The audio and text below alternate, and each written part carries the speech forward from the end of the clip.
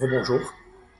Nous sommes donc aujourd'hui vendredi, la veille de la paracha de Réé et la veille de Rosh Chodesh Elul. Je voudrais, avec l'aide de Hachem, vous proposer une ségoula faite maison. Be'ezat Hachem.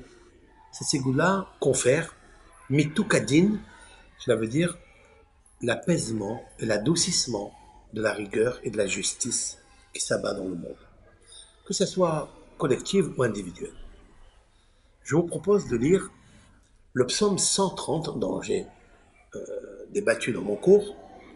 Le psaume 130 comme la valeur numérique colle, c'est-à-dire la voix. Comme il est stipulé dans le psaume, Shima Bekoli, écoute ma voix. Ce psaume contient 54 mots, comme la valeur numérique Dan, c'est-à-dire justice. L'Éternel est, est, le roi de la justice. Melech HaMishpat, nous allons le lire bientôt dans les dix jours de pénitence. Il est le roi de la justice. Et il n'y a rien qui est oublié chez Hachem. Nous allons lire ce psaume avec l'aide de Hachem trois fois. Quand je dis trois fois, il faut le lire, il faut le comprendre. Donc celles et ceux qui ne comprennent pas en hébreu, il faut le lire en phonétique. On le montrera dans notre vidéo en phonétique, dans le commentaire. En français, il faut comprendre ce psaume. Le lire trois fois. Parce qu'il nous faut avoir une, ce qu'on appelle une présomption, hazaka, pour bien comprendre et l'imprégner dans le cœur.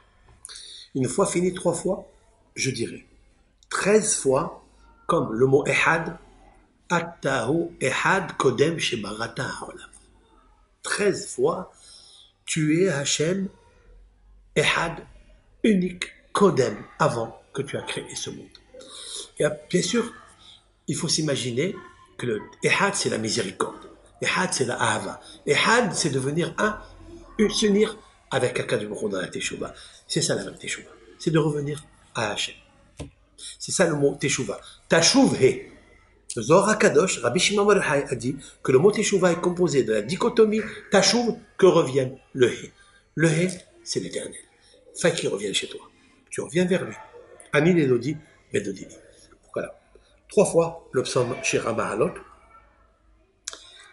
Tout Rosh Chodesh Elul, les dix jours de pénitence, tous les jours, il faut le faire pendant 40 jours. Pendant 40 jours, faire cela jusqu'au jour de Kippour.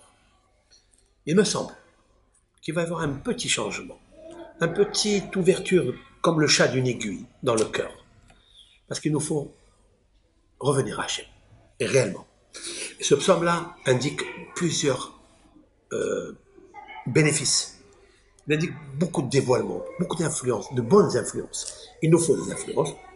Il y a aussi l'espoir qui vit Hachem, qui vit Alors c'est bien ce psaume-là, si on veut le lire avec un mikvé, pour les hommes.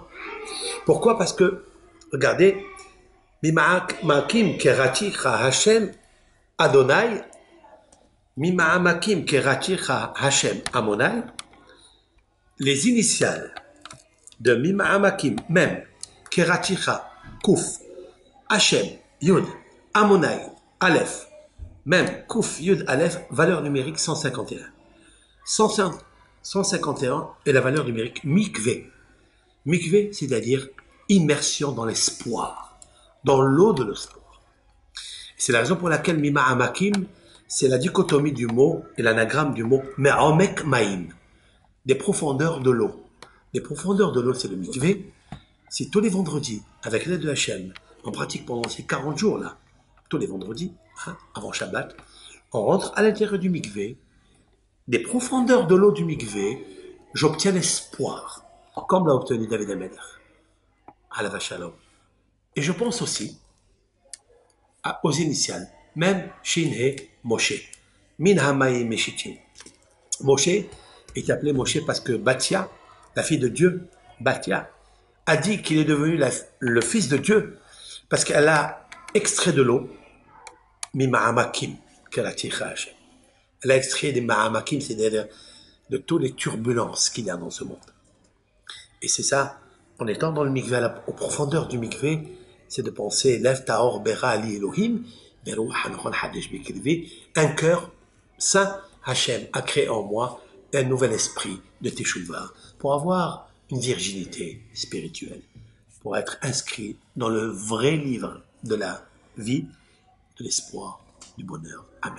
Pour tout le Ham Israël et l'espoir pour le monde entier que Hachem nous amène, nous amène. Il y a un avis qui nous annonce Ragle Mevaser, Mashiach Tzidkenu, Matzmah Yeshua, la bonne nouvelle de l'écoute.